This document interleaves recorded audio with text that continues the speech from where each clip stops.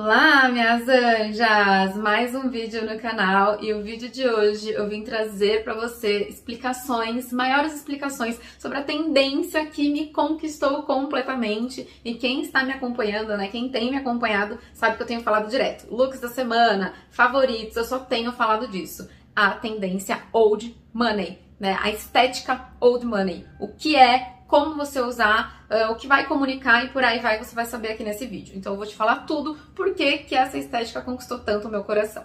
Então vamos lá. Vamos começar o que é a estética old money, dinheiro velho. Então é basicamente aquela estética dos herdeiros dos anos 10, 20. Então, 1910, 1920. Era aquela, aquela época em que os herdeiros ganhavam dinheiro, eles não tinham que trabalhar para aquilo. Então, é os famosos riquinhos ali, patricinhas de Beverly Hills. Quem assistiu Gossip Girls? Blair Waldorf usava muito esse tipo de estética, né? Que não deixava de ser uma herdeira, não trabalhava, aquela vida maravilhosa que todo mundo pediu a Deus, mas que nem todo mundo foi contemplado com ela, não é mesmo? É, o que, que a gente vai poder ver nessa estética, né? Naquela época, os herdeiros, principalmente da Europa, tá? Naquela época, os herdeiros, as pessoas ricas, né, as, as, aquelas pessoas abastadas, né, que tinham nascido em berço de ouro, elas tinham, principalmente na Europa, porque é, nessa, é nesse lugar, né, nesse país, que a gente vê muito essa questão de roupa colegial, da escola, toda bonitinha, engomadinha, naquele uniforme.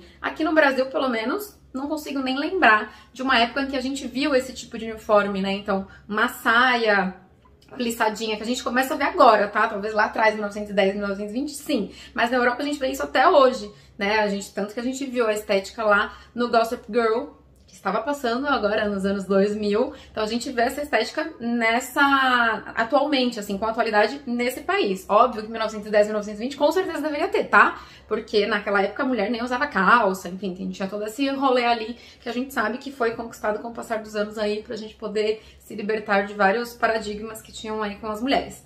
Então é muito daquela estética de pulloverzinho, de blazerzinho, o tweed, a saia plissada mais curtinha, né? Também tem muito da estética dos esportes é, riquinhos, né? Dos ricos. Então quais eram aqueles esportes? Hipismo e tênis. Então a gente vai ver muito dessa estética também. Então, a calça skinny com uma bota montaria e uma camisa polo. Inclusive, até hoje, se você for ver lá né, no, na Europa, o pessoal da monarquia, enfim, Kate Middleton, quando ela tá fazendo hipismo, ela está exatamente com essa estética, né? Quando eles vão lá para as partidas de tênis, também tem muita gente que usa essa estética é, old money, com também uma polo, uma saia mais curtinha, com tênis também. Então isso é muito dessa estética. Patricinhas de Beverly Hills também, né? Então quando a gente via aquelas saias mais curtinhas, com xadrez, os pullovers, né? A, a meia calça tipo 7 oitavos, ou meia calça mesmo, é uma estética que entra muito. É, é tudo bem dessa fase, dessa época, dessa galera. Sempre nesse estilo aí da galerinha rica, herdeira, né? Que tá aí na vida a passeio, mas muito lindo e muito estiloso.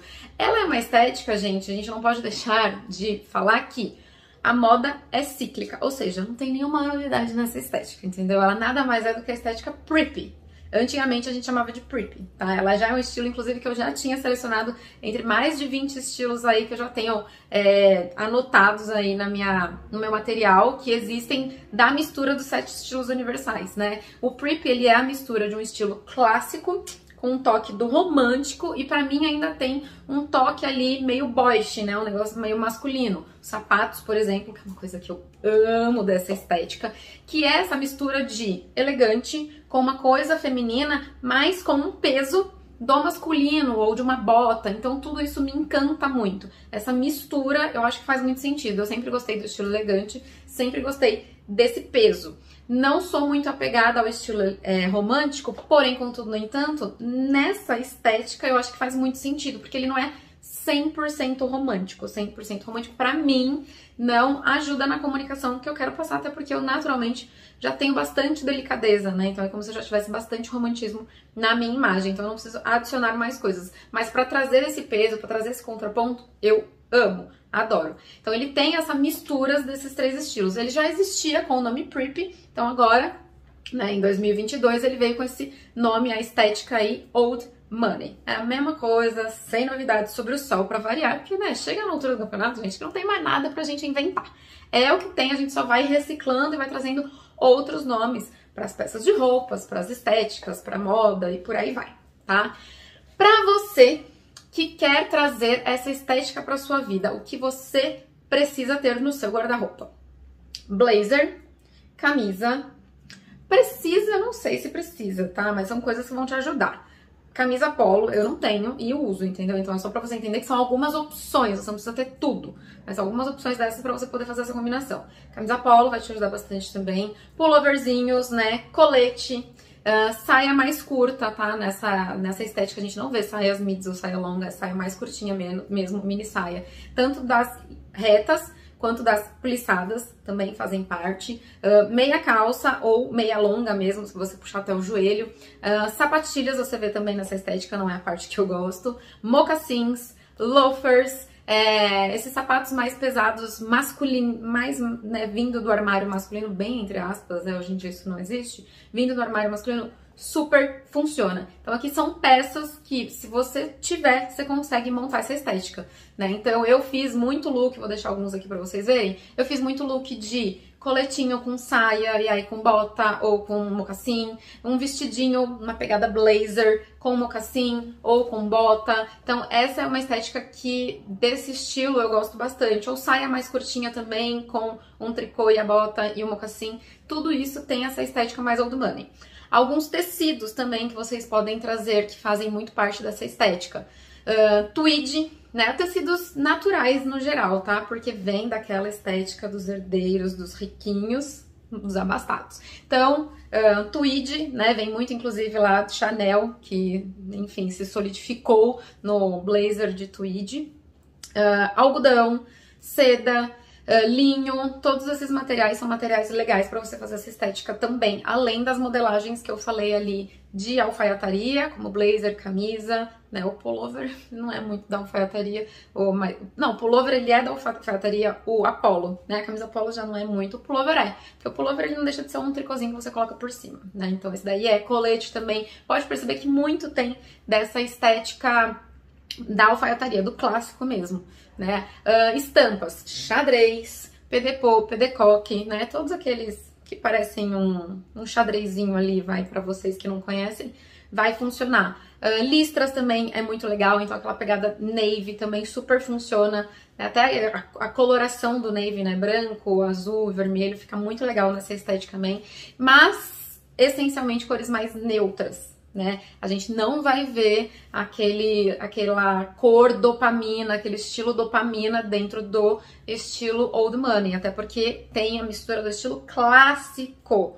O estilo clássico, eu não falei do estilo elegante contemporâneo, enfim, é o estilo clássico. O estilo clássico não traz cores, tá? Isso não significa que a gente não pode trazer, não é mesmo? Eu mesma já fiz um look com essa estética old money com um tricô rosa, e é isso, o mundo que lute. Aí a gente vai adaptando também pro nosso estilo, para aquilo que faz sentido pra gente, tá? A comunicação que você vai ter Assim, vou falar do look dessa estética, mas a gente nunca pode esquecer que o mandorinha só não faz verão. A gente ainda tem que analisar o seu rostinho, né? A gente tem que ver sua coloração, tudo isso vai importar, o seu contraste, tudo isso comunica na sua imagem, tá? Mas a estética em si, como ela tem o clássico misturado com o romântico, misturado com uma pegada mais moderna, digamos assim, eu vou colocar esse peso visual do dramático, a gente consegue até que um equilíbrio muito bom, porque a gente tem uma pegada mais séria, com o feminino que é mais delicado, que traria mais leveza para essa estética, para esse estilo, mas a gente também tem o peso ali do sapato, a não ser, obviamente, você use a sapatilha.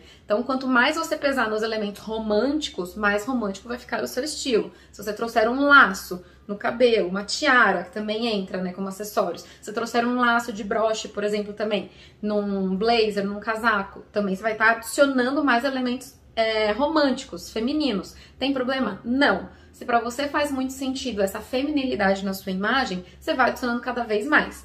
Para mim não faz muito. Quando eu trago esses elementos, eu tenho que pesar mais. Não significa que eu não use, tá? Essa semana eu coloquei uma tiara, bem para fazer essa pegada do estilo creepy. Coloquei uma tiara com um vestido meio blazer É, e uma sapatilha bico fino, com spikes e tal, eu trouxe, tentei trazer uma coisa mais moderna. Então você consegue sempre, gente, vocês sempre vão conseguir, é, se o estilo faz sentido também, vocês não precisam abraçar tudo que a moda é, apresenta aí pra gente. A moda está aí para mostrar as coisas, apresentar o que tá rolando no mundo. A gente pega aquilo que funciona pra gente, que faz sentido pra gente. Então eu peguei essa estética pra mim, porque é uma estética que pra mim fez muito sentido, mas eu vou adicionando também toques da Amanda. Então eu vou trazer o colorido mesmo, que o colorido não faça super parte dessa estética, ele não faz mesmo, tá? Não podemos esquecer que ele vem do clássico. Clássico não traz cores. Aí ele tem os, né, uns detalhes ali do romântico, então que vai ser essas fitas, tiaras, uh, coisas, acessórios mais delicados, a própria sapatilha, a meia calça, que é extremamente feminino, tudo isso você vai trazer do feminino. E aí você vê se você quer quebrar tudo isso com um sapato, por exemplo, mais pesado, como uma bota, um loafer, um mocassim, tratorado até funciona também. Ou se você quer continuar nessa estética mais feminina e mais romântica, que também pode funcionar. E aí você coloca uma sapatilha, né? Afinal de contas, não é à toa que a sapatilha está voltando. Ou será que ela nunca desapareceu? Vamos fazer um vídeo a respeito disso também. É isso, pessoal. Espero que vocês tenham gostado desse vídeo. Eu estou apaixonada por essa estética. É, eu gosto muito dessa mistura, porque o elegante sempre esteve na minha vida. O dramático é uma coisa que eu gosto também. E o romântico é uma coisa que eu nunca não gostei. Eu só não, pra mim, não funciona 100% romântico, mas eu sempre gostei de um vestido de babadinho com uma jaqueta de couro e um coturno, eu acho que funciona demais. E essa estética não traz a jaqueta de couro e o coturno, mas traz uma outra opção com a mistura do clássico, que é um blazer de tweed ou até mesmo um blazer, um colete, e trazer essa, essa estética com o sapato pesado, que é uma coisa que eu gosto bastante. Agora me diz aqui embaixo nos comentários se você gosta dessa estética ou não faz muito seu estilo. Você vai usar também? Me diz aqui embaixo o que você está pretendendo comprar, se você vai usar, que eu vou adorar saber, tá bom? E me diz uma coisa também. Eu estou te influenciando, talvez, gostar dessa estética ou realmente para você não desce. Deixa aqui embaixo nos comentários que eu adoro saber a opinião de vocês e ter essa troca com vocês, tá bom? Até o próximo vídeo. Tchau!